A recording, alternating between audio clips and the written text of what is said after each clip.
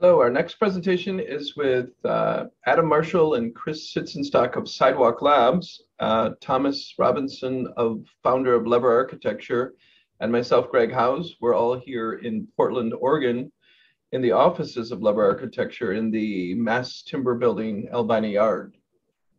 We'll be essentially sitting around a table discussing the mass timber industry in a discussion. Thank you, everyone. I think we're, we're, I'll introduce everyone here now. We'll move on we are sitting uh, in the Lever Architecture office here in Portland, Oregon.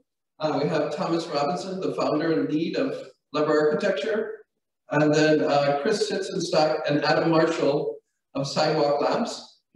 And uh, what we wanted to move on for this is just essentially a general discussion of, of the, the mass timber industry and where it's at.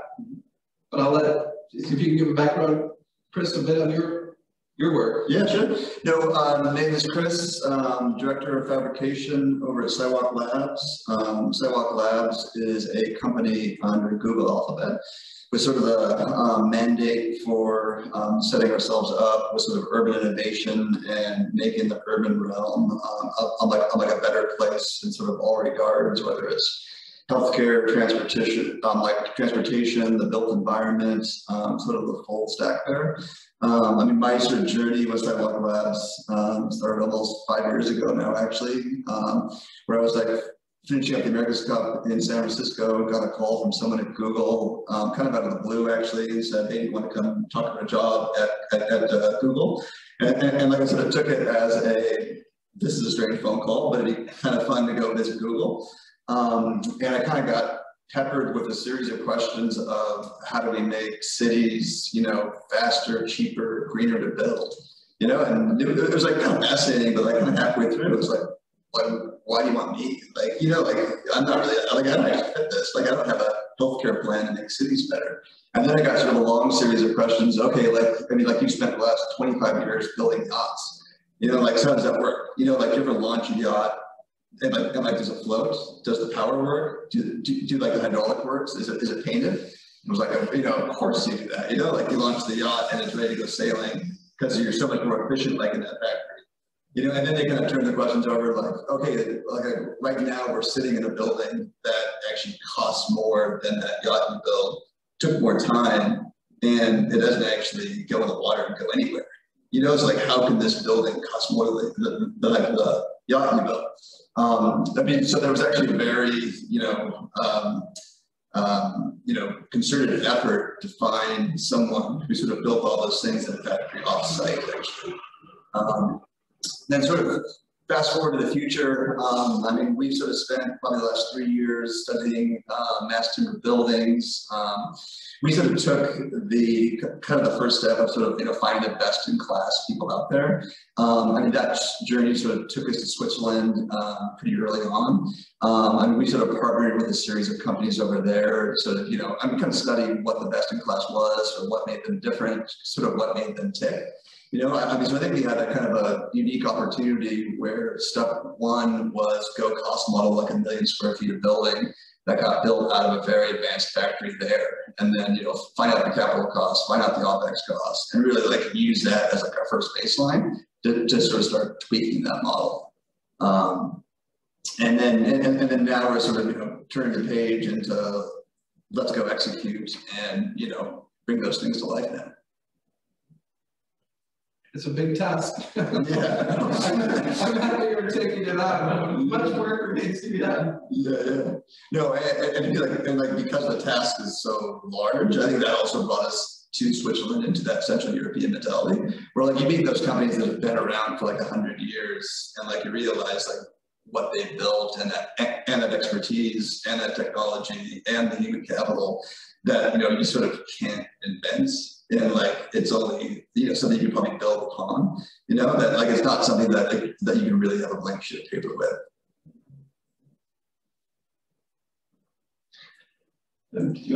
Sure. Hi, um, I'm Marshall. I'm the uh, Director of Digital Fabrication and Construction at Sidewalk Labs. Um, so also got a strange phone call, you know, uh, hey, what do you think about coming to to build buildings. I spent uh, 15 years working in the intersection of technology and aerospace manufacturing. um, and uh, decided to make the jump and, and see what can apply from, from those learnings into Sidewalk Labs and that journey that Chris just mentioned. Um, so I'm working to to um, develop and or um, you know partner to implement technology from the architecture and design phase through our our uh, factory and manufacturing processes into the uh, logistics and supply chain and delivery of uh, projects, um, you know, which is uh, a lot to learn from um, in that foundation, like, you know, learning the best in class in Swiss. There's a lot in aerospace automotive around how to do parametric design, um, how to, how to um, disseminate information, how to use uh, reference models and, and so forth uh, to, to do model-based engineering and design across the value stream. And uh, excited to, to see where we can learn from others on that journey and where we can uh, also contribute. Like, I, I give a little bit of background on my journey. Um, my, I finally convinced my father to retire his sawmill at age 82 um, this past summer. And my grandfather, until he passed away, he was 93 when he quit. And essentially, I've been a builder for 20 years, and then I recognize as a research wood we're fortunate to be here in the Pacific Northwest and Oregon and Washington, the biggest lumber producing states in the US, the biggest lumber importing and exporting country in the world, yet the growth industry is here is exporting logs, trying to be a low cost producer of a commodity product. Yet we have growing housing shortages, uh, explosion and demand continues to rise. We have a constraint of some labor so what is the best solution to build faster, better, cheaper, greener, adding maximum value to an abundant, sustainable local resource, creating jobs and creating affordable housing. And to me, the best thing to do would be to use the best tools and technologies available. And after doing a lot of research, where is that most automated? And everybody ended up looking at Germany, Switzerland, and Austria. And the factories I toured in Europe, Canada, the US, when I dug deeply, like, what's the system here, the software and the machines? The majority were coming from Europe, and that's how I found Stefan Schneider, my business partner. I'm like, look, this is ultimately a technology business. The best way to create jobs and to create buildings is to do it efficiently using automation, learning from other industries like automotive. And so that there's so much to do, yet the technology spreads slowly around the world. How do we bring in the best tools and processes to this market? There's more than enough work for everyone. Even when I talk with my partner Stefan about how many licenses, for example, of Cadwork, the, the software we're using, there are like I think there are over 700 in Switzerland alone. And there's hundreds of companies, what I would call the mass timber business, in a country of 8 million people where only 10% of the buildings are wood framed. And here we are in the world's largest market. How do we adopt the best technologies? How do we be a part of that supply chain? And I think there's room for literally tens of thousands of companies doing this. So it isn't a problem of competition, it's adopting and developing the best tools. So I'm excited about how much potential there is, and I think there's incredible potential here on the West Coast. I celebrate the fact that the technology industry is coming into this, the built environment, as a customer and partner. Because there's too much to build. We have a crisis, and we, we need everyone to, to, to build billions of homes. As I think it's Bill Gates who said we need a new New York City every 30 days for the next 30 years. How do we do that? Yeah, no, I mean, to me, like one of the amazing things about Switzerland is there's 32 modular timber manufacturers in the country of Switzerland. And that's basically the same population as Washington State. You know, I mean, like the amount of, you know, like, you know, like massive opportunity out there for a lot of different people at different tiers is, is, is pretty incredible, actually. You know, like even Germany is about 16 for a country that's probably 10 times larger. You know, I mean, I guess even like just from that sphere out, I mean, there's a massive drop off, actually. I think I think the, the thing we need to fear least is uh, competition. If we're adopting new technologies um, and that those are efficient, it's a the big opportunity is scaling building systems and building them. Because there aren't magically skilled carpenters aren't suddenly going to enter our market. We're actually losing those people, yet demand goes up. So what better solution is there? And that's why I got into it. I was a builder. I wanted to build more better buildings. And I need a system to do that because I can't have that knowledge myself. I need to be a part of an advanced supply chain in order to do that. Yeah. What do you think, Thomas? I mean, I think one of the big challenges that we see um, is is the whole picture. You know, the actual manufacturing and detailing and putting a building together. At least for us, is almost the I want to say the easiest part, but it's like the most straightforward part. It's a technical challenge. And in the United States, one of the hardest things that you know we've come across is is you know is the actual regulatory framework and the real estate kind of uh, uh, complexity of politics, of real estate, of codes that overlap and contradict each other. Um, you know, I was, you know, I've been an architect for over 25 years or 30 years. And, you know, I was initially really interested in working in Europe. Um, and I, my mother's European, and I worked in Switzerland for three years, uh, doing work in the United States uh, for a, Swiss firm there. It was really interesting to sort of see the cross-pollination that happened then, and the project that we did there was the Young Museum, which used SolidWorks in 2000 to parametrically kind of do this incredibly complex metal facade. And I'm like, we're never going to do anything that complicated again. and then I you know, five, six years ago, our firm was one of the winners of the U.S. Uh, tall wood um, tall building competition, and and Steve Marshall, who I think is on this call, was a big part of that. Uh, and during that process, you know, we spent probably a million and a half dollars doing full-scale component testing of all the elements that we needed to actually get a high-rise building permit in the U.S. But when I would go to like Europe and talk to engineers there, they're like, well, how do you get a high rise permitted in Norway? They're like, well, you just need two engineers. And, you know, if, you know, they both agree that this is a good thing, then it's pretty straightforward. That is so not the way it is here. it is so hard to just do the simplest things, like even just do a timber brace. You know, we still can't do that without full-scale performance component testing for that element.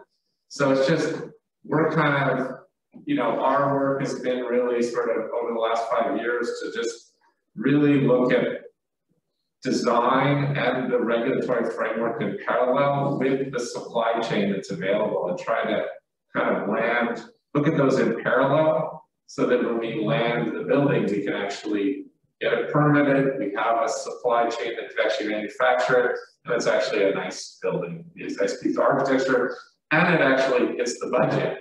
You know, so that is really one of the biggest challenges we have here, honestly, is I think that is, is it's almost a, as much a real estate regulatory framework challenge as it is a manufacturing challenge. They really are kind of in parallel. Yeah. Um, but of course, I love detailing. I love technology. I love what it can do.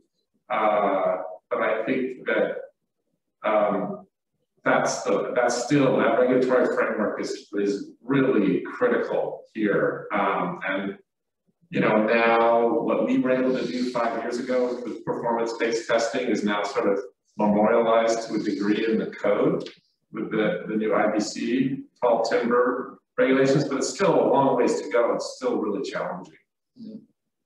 Yeah, no, I, I mean, with, with like technology and the politics, also there's like a cultural thing. Um, um, like I remember like being in a large shop in Switzerland and like they were waiting for a massive shipment of CLT in like four weeks. And the vendor literally called them up and said, we can't do it. Um, like you have to find someone else. It was a horrible dark day for that guy. But then like he called up someone else and they honored the price, honored the timeline where they would lose money basically on like the ethos of like, it could be us next time. So like we all have to help each other. And I mean like that's like a big part of like where things get advanced too. You know, like everyone's helping each other because everyone wants these projects to be delivered. No one wants anyone to actually lose in a big way. And you know, like if everyone wins, everyone wins. I think Portland and Oregon is in a way similar, you know, in that it is a little bit more collaboration between contractors architects and fabricators. Uh, partially because it's, I, you know, I worked in Basel for a while and I worked in Spain and you get to know different people. There are relationships and it's like you aren't gonna like that person's gonna be around in 20 years. you, you, should, you know, you have to be kind of thoughtful. It can't just, you know, you know, while we work in a market like Los Angeles, which is so large, you, you know, and some of these markets are so large, people just like, yeah, whatever, I don't care. If if it doesn't work out, I've got way more work over here.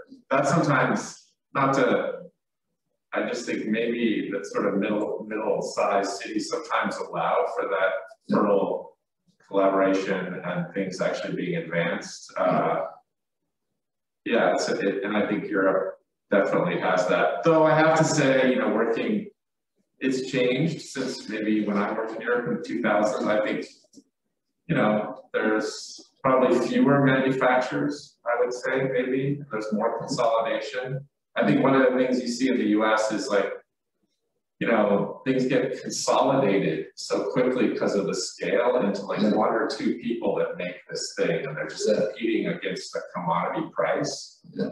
And it's hard, you know, that like while you might have five different curtain wall manufacturers making the same product across Europe, you know, in the US, there might be like three you know, for the entire entire country, you know, that, that makes something. So uh, it's different. It's really different, you know, market. Yeah, I, I think also like a lot of the technology is sort of democratizing things too. You know, I mean, like were looking at like a small scale shop over like an, over like essentially Europe, essentially set up like one carpenter where he had one machine and he was incredibly efficient, you know, and it was, it, it was like a really great thing of like, you know, someone could like sort of embracing, you know, like the technology and the craft, and then produce very large, complex things in a very small space. You know, I mean, to be like, we're, we're like, there's going to be like, you know, like large players who are going to large projects, but then like, and like, be a lot of people who are doing a lot of different things, and that's really going to drive things in a huge way as well. Yeah, and I, I've experienced my wife's from Finland, so I've been to numerous wood events in Finland, just and wood has been a big part of their economy forever. Uh, traditionally more paper, but now they're doing more in buildings. But uh, going to some events there, it was interesting because the Finns were like, well, look, you've got everything. What are you missing? You're in the West Coast, it's the biggest real estate market. You got the most investors, you have the most wood. Um, you're, you have everything, you have every advantage. And I can push back on that because in, in, a country like Finland, it's got 5.6 million people. You're one degree of separation from pretty much everyone.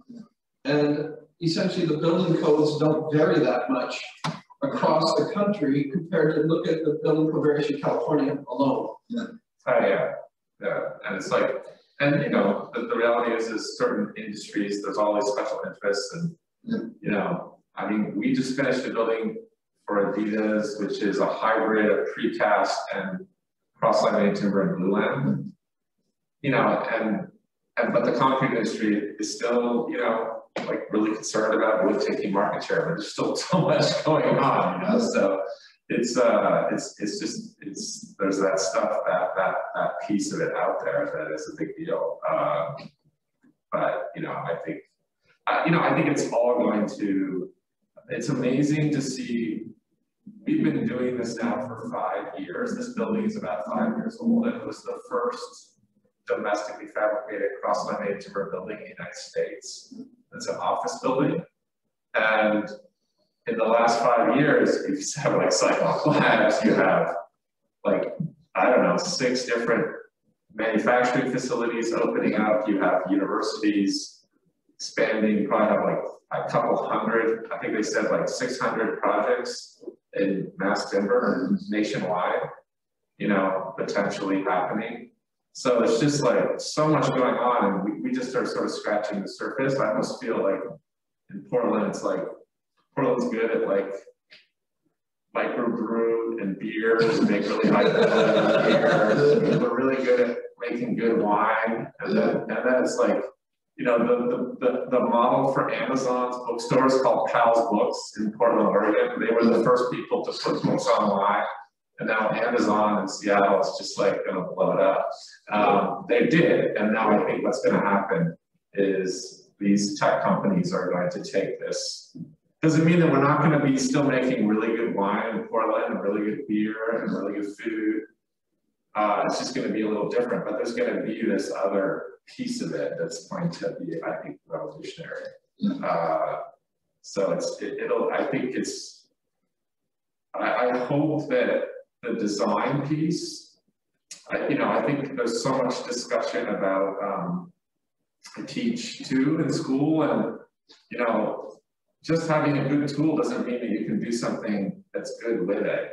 uh, you know, just having a really great, it's like I talk to my students, I'm like, you have to have a, a purpose or an idea that is bigger than the tool behind what you're doing to actually do something of value.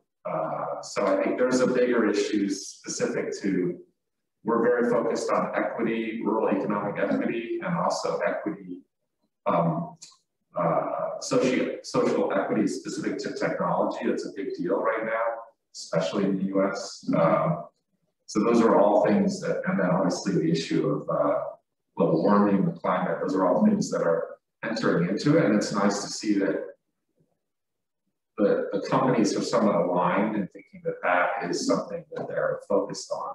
Yeah. You know, and what we're talking about too, I mean, there's a lot of variation in design. And it's amazing what wood producers can produce. You know, like take something like the Blumer-Lehmann doing from like the, like the, know, Swatch headquarters, you know, incredible Shigeru Ban building to the next project was refugee housing for Syria. You know, was largely the same people doing the same thing with a way different, obviously, mission to do. You know, but like, it, it was amazing how efficient both projects were actually. You know, I mean, done with the same people, same technology. But isn't, doesn't that speak to the maturity of the supply chain and that you have multiple competitors that can function at that high level? I mean, even when I talk to, again, my Swiss business partner, Stefan Schneider, will talk about process and doing it, and he'll typically say, like, look, you can't be competitive in the high-end wood business in Switzerland if you're doing things the old way. Yeah. Because you're just not going to get hired because you can't play at that level. Yeah. You can't work in the day, you can't be a part of the supply chain. But it's going to take a long time for that supply chain to develop here. There's, I don't think there's a shortcut. So there's big opportunities for those companies that are moving in that direction. But also big challenges. Why, why, why isn't it, why did it take so long for it to happen here? Stick frame, stick frame, why. frame in the United States, all you need is a, a skill saw and a nail gun. And you can build anything out of wood, pretty much. You can build up to 75 feet, you know, uh, hundreds of thousands of square feet of housing. Uh, and I, I, you know, every time I, everyone's like, well, why haven't we done that? I'm just saying we have, we already have the cheapest most efficient modular wood building system in the world, in the United States, that builds more out of wood than any other system. Yeah. And people just, it's just right under your nose. And the entire supply chain of the United States is organized and has been since 1837 around building stick frame. And it's just so hard to compete because it's like, you know, so the only modular systems you see out there that are sort of been maintained in the US are using stick frame, but just building it like they built on site in a factory, so they're slightly more efficient. Yeah. And it's just been, it's so, it's like the, I don't know, sometimes you realize it's like I dream of stick frame sometimes. uh, you know, and, and I, I've kind of gotten to appreciate it now. Almost like you must have to must have to like go through it to get go out of it.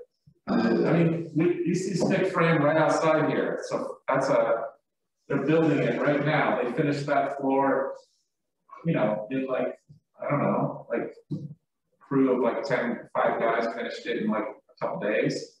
You know, they're building a, you know, that's going to be a 60,000, 70,000 square foot. So, you know, 7,000 square meter housing project, you know. So uh, it's just it's it's a real it's a real obstacle of doing something more with more innovation. No, for sure. I mean, like, I mean, like stick frame is radically efficient, actually. Yeah, It's they, so I'm like, I'm like, just back to like one person who carried all pieces over their shoulder. Yeah. But, but, but like, like a pickup truck they can buy at pretty low, it's incredible. You know, um, but, but I mean, like, like, there's also a bit of like Swiss not being emotional and very rational about things. I'm like, I remember like walking to the parking lot with like, a- with, like, I'm like, I'm like the guy from the second largest Swiss GC. And I, I asked him like, well, I mean, I mean, they had both like a concrete batch plant and like a mass timber fabrication plant. I remember asking them, well, so why do you concrete or why do you wood?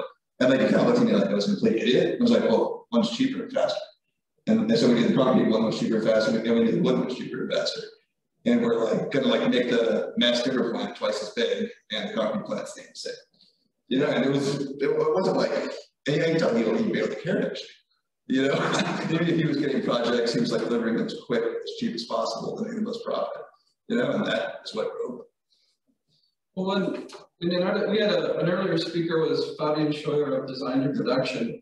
And he had worked on the Swatch headquarters and many other just amazing projects. And when I look at those projects, it's kind of intuitively look at that like, you can't just hire the framers who did that across the street and say, hey, guys, do this. So it's, it's, it's a technology, it's software, it's machines, it's really the only way to deliver that reliably.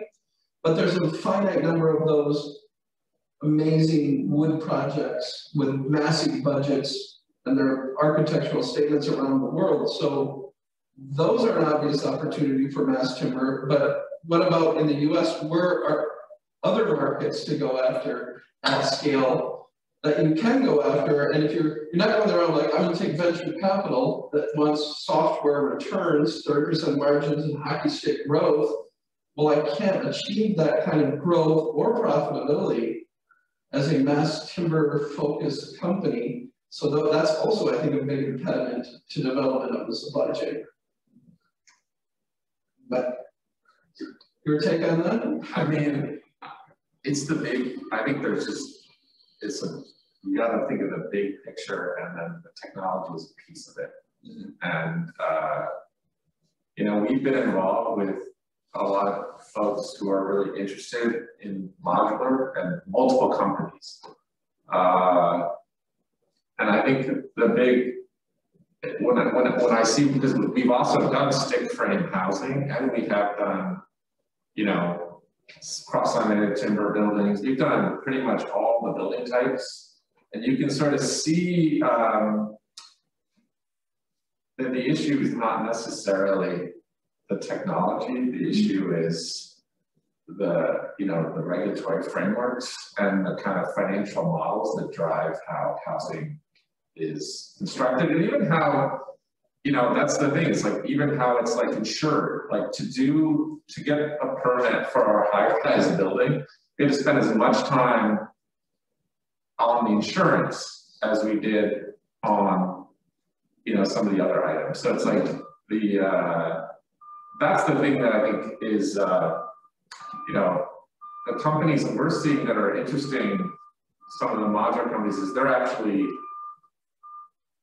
they're not just, they're buying the property and then they're building, uh, then they're actually building a system around the sort of real estate structure that exists. Like here's the amount of lots that exist and let's build our system almost around a specific lot. I mean, you think of it like, uh, you think of it like, uh, storage, storage companies that build storage space, right? They have a system and then they look into the market for a lot that fits their system. Yeah. So it's a, it's a really different kind of approach sometimes relative, you know, so it's, those are the kinds of things we're seeing. And that's partially because it's less sophisticated in terms of fabrication, if you have more flexibility Yeah, in the fabrication, it doesn't cost you more to change it, then I think that, that will kind of open up more opportunities, you know, to, to, to do urban infill like you see outside. and, and, and to me, it's kind of like a step function kind of thing, like, I don't really believe you can just take like money and just insert it into industry, and like, it magically something happens. I mean, I, I mean, I mean, like, I mean, kind of one of the more powerful things about Cyber Labs is like set up to fix your environment. and just happens to be doing that with mass timber. You know, I mean, I feel like the more like, I mean, kind of like, kind of like the step function, going one step away from tech and, you know, having a mission statement that's very large, instead of using it as a tool to help with that, is, you know, sort of the, like a powerful step you have to do, actually. I mean, I, it's so, the tech, I think the tech getting into construction is such a big deal for the United States because it just have a different attitude and they're not like uh, beaten down. as, as the, sometimes, you know, when you're an architect and, you know, you're dealing with the city and you're dealing with multiple jurisdictions. And uh, even when I worked in Switzerland, I remember working with Herzog and they're like, well, can we just talk to the code official in San Francisco about the railing design? Can we just like modify? I'm like, no, they're not going to say, they don't care who you are. this is their thing. And, you know, you have to work with them, you know, and you have to kind of figure out a different way to sort of say, it's like a, it's almost like uh, diplomacy in a way, you know, like, oh, yeah, we're just, you know, but it, so it was really, it was fascinating to see like that there was so much more, uh, there was a, a sort of rigidity and clarity, but there was also some inherent flexibility, like you mentioned, about calling to the person yeah. to the delivery. So, and, and, and like there's been a lot of groundbreaking things. I like if you have a meeting with a code official now and you meet in this building about mass timber, oh, yeah. it's a way different conversation than five years ago. Like this is like, you know, this is real. This is a thing that happens. Yeah. You know, like that person probably wants to work in this office you know, like he sees the future. Well, they want to be part of it now. I mean, to get this building permitted in the United States, it's the only building in the city of Portland permitted by the state of Oregon. It's the first time it ever happened. So, so, that, so that's how we were able to kind of do this. And then once we got it done, they were like, oh yeah, we can, we'll, we'll do it. We see it, it seems okay. But that's, that's, that's the way those kinds of things happen as a as a technologist, I'd just like to echo that it's really important not to be a technology zealot and come in and say iPads and apps for everyone are going to solve all problems. And so I absolutely agree. It's it's thinking of the industry or the supply chain or the factory as a as a complex system of, of people and policy and uh, processes, and not not just trying to incrementally add technology or add change to do the do the same work better. It's think about those models and how those systems work, uh, transform them to be more human-centered, more aligned with the goals that we have, and then use technology as a as a lever to help push towards those visions. I mean, I I had a 1920s stick-built sawmill home north of Seattle that I that I uh, remodeled, and uh, it had the you know original order sheets lacquered into one of the old growth fir beams inside. And if you look those up, you know there was a grid that you could draw the house you wanted, put a two cent stamp on it in 1920, mail it in, and they would you know cut the house for you. Uh, for the sawmill. So that, that business model is not different, right? The incentive structures and how things have grown um, around the way that construction works you know, if we just apply technology to that, that's only a minor change. You really have to rethink about how to disrupt the overall complex system. Yeah, and companies, tech, the interesting thing is technology companies are the ones also building these new buildings out of timber. And they're, so they're also, you know, spin-offs like Sidewalk Labs. There's also other ones out there. There's one called Juno. There's others. There's a bunch of tech startups I mean, we've, we've talked to a lot of different companies, and we probably haven't necessarily, uh, you know, it's, it's like the limit of what we, how we want to engage because we want to actually, I think architecture as we see it, it's like something you just want to share the technology with other people and you're, you're building your knowledge over like 30, almost like a thousand years of tradition, thousands, you're sort of building on that knowledge. So it's, it's tricky, you know, whether, okay, we're gonna, as soon as a, a product almost becomes like copyrighted, that detail almost dies. Like people are like, oh, I don't just change it. I don't wanna, you know, so it's this weird kind of thing where people wanna try to like create a, a system that is completely uh, somehow uh, copyrighted or restricted. You know, maybe there's a simple, simple component that is that, but it becomes the system, then it's, people are like, oh, I'll just do something a little different, you know, not necessarily. Uh, you know, it has to be really amazing and efficient for that to happen. But we've seen that a lot. You see that with structural details, you see that with architecture. It's, it's, uh, the, the open system is important in a way. Uh, and then it's really about how efficient can you be to actually execute. Yeah, sure. There's, there's a question I think we'll take, it's how much of, I assume that Sidewalk Labs business is based on capacity to reduce costs versus technology improvements in the building systems themselves? Oh, I I think it's probably equal parts of those things, you know, where I mean, like, I mean, like, well, like obviously we're, you know, trying to produce buildings, you know, cheaper and faster, you know, to sort of make that building product more accessible, you know, to like, to like a lot more projects. Uh, and, and I think that kind of goes hand in hand with technology improvements to sort of make that happen. Um, so I think it's sort of, um, it goes hand in hand it's kind of hard to separate.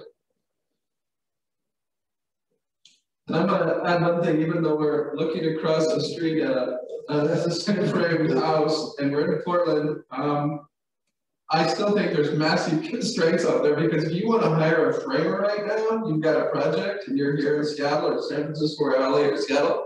Well, kind of good luck. I mean, good luck even getting the wood, first of all. Yeah. There's a shortage of wood and there's certainly um, a shortage of skilled framers. And I know there's more to it than buying a used Ford F-150 a nail gun compressor, but it's not that simple. So I, I'm just, maybe I drank too much the Kool-Aid, but I think there's, there's a lot of room for building systems. There, I mean, there is, and I, I, you know, like, but I think what, like, we're doing, uh, we just started construction on a, a version of this where we're using mass plywood for the flooring, and it's a hybrid of metal studs. So it's a mixed system, and then it also has PT. And, but the funny thing is, so much is driven by regulation, so we need a fifteen foot clear floor to get an extra five feet of height. So that pushes us into a PT slab, so you can have the beams be included in the code. So then we have that, and then we're using the mass plywood as formwork, and then above that, we're doing a hybrid of mass plywood and metal studs on top of two floors of post-tension concrete. Yeah. So it's just like about, so much of this stuff is driven sometimes by, you know, technically we could do it all out of wood, Yeah. but we have fire ratings and all these sort of specific regulatory things that are weird that drive construction. Um, I mean, I know that's, I get, I keep coming back to that, but, uh, it's, uh, you know, I think for us, it's like, each time we do a project, we're like, where can we slip in that chunk of innovation? Yeah, Sure, that is gonna then, people are like, oh, they did that, now we can do this. Down the street here, another architect, uh, Vector Architecture is doing an all CLT um, office with his house on top. And it's, and it's all sheer, it's all sheer. Yeah. There's no, it's all, the, the, the- all the walls, all the floors are all CLT, so it's a really interesting project. But the design of it is driven by the fact that in the United States, we don't accept in the seismic country that we're in, the shear values that are probably how the actual material performs. Yeah. So he has massive amounts of shear walls, so he can actually make this thing work structurally. Yeah, no, and, and to me, like, a part of the value of like a kit parts mentality is like code compliance, actually. Yeah, You know, because I mean, like, if we're something like the facade system, it has to meet the fire test, it has to meet the performance test, because like that can't go on to the project or to you. Yeah. You know, because like there's simply not the cost structure or the time structure here to really make that happen and to like do that innovation. yeah, You know, I mean, to where, to where, to where like, it's less about like constraining your copywriting, it's almost more like, here's a system you can. yeah. Well, I want to keep on the schedule, so we'll move, we'll continue this kind of conversation on the panel. But let's move to Daryl Patterson, we have of Lend Lease, um, on his presentation and the perspective of a company the size of Lend Lease.